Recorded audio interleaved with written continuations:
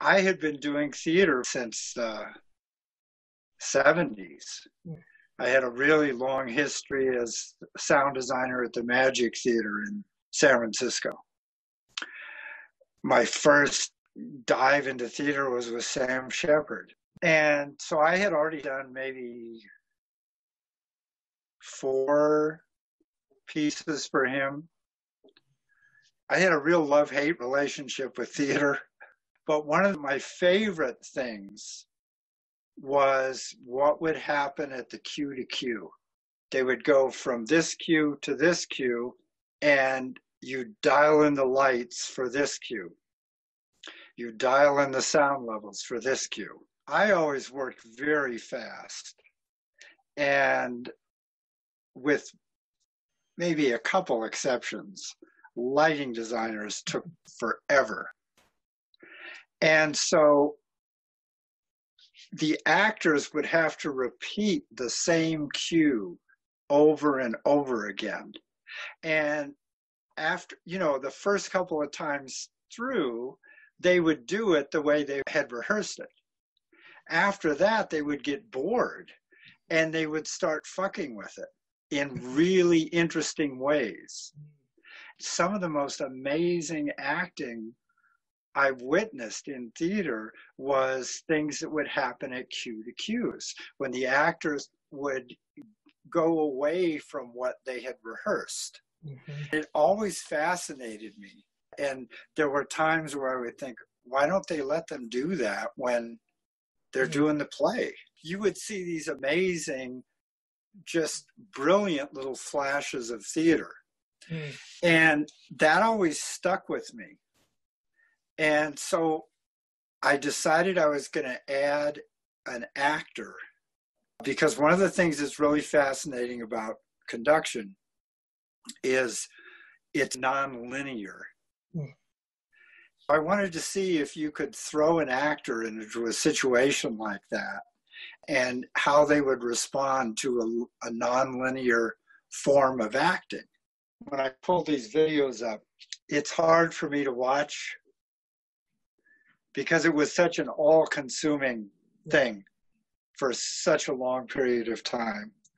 And then adding the the video element to it and having to learn that on top of everything else. I needed more time out of the architecture of the ensemble to still be uh, a strong part of the ensemble because I think making those runways and having us in a different space we weren't like we should have been. And, right. and you know, it's a it's a matter of time. How far can you stretch the architecture right. of the ensemble? When we made it a theater piece, and we created a sightline thing. Mm-hmm. Getting to your point, it might have been wiser if we had kept you guys in the ensemble but with close up cameras on you. Mm-hmm. You could have done all the physicality, but just on a smaller scale, mm-hmm. but it would have been made big on the screens. We always say we don't really own this until we've done it 30 times or so. And we did five or six or something like that. And with so many elements, there was so much to uh, learn from that. And that would have been really interesting to say, okay, this week, let's have the actors with a camera on each of them and let's see how small we can do it. Right, right. And we didn't have the luxury of that yeah. because it was such a large production.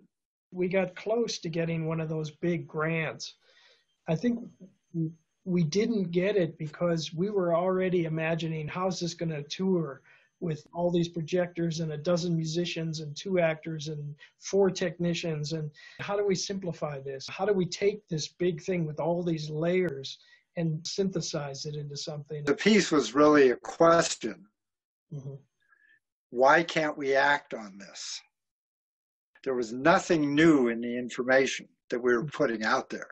It was just more horrific because it wasn't from the 1970s it was now as soon as I arrive at the theater to do my setup, I was thinking, I can't wait for the talkback.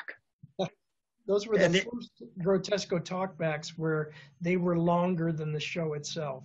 Yeah, some of those talkbacks, you know, I, I remember the night that the they brought the theater department from the World College Yes. to Yeah. there was this woman who was very pissed off at us for doing this piece and not pointing our fingers Right. the bad guys. And then I remember this young woman from the World College. I think she was German or Swedish. And she just said, I don't think the point of this piece was for you to uh, go home and feel good about who you think the bad guy is.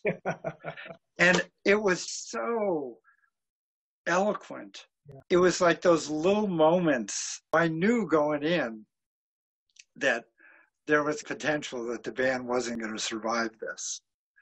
It's all fine. It ran its course. 15 years that ensemble was together. 15 years. As soon as there was a schedule and payment involved, right.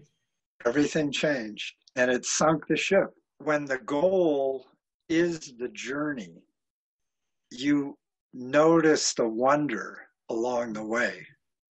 When the journey is to get to the goal, a lot of times you miss the wonder. There's so many things in here that could be stronger. It is what it is. I wouldn't uh, I wouldn't trade that experience for anything. Okay, next show, one light, one clown. One nose, light, one clown nose, one cowbell.